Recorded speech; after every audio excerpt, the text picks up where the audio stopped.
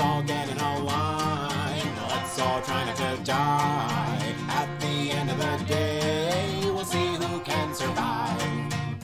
The world has ended and you need to gather the resources for survival. Stand in line and try to outlast your neighbors. Will you get what you need or what you deserve? End of the line is filled with the best and worst the end times have to offer. Pick a card. Pick a family member. Pick a line. Fuel, ammo, food, or water. When life fills up, see if you survive.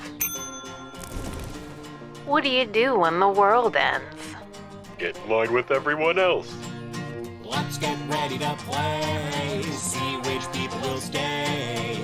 At the end of the game, we'll see who goes away.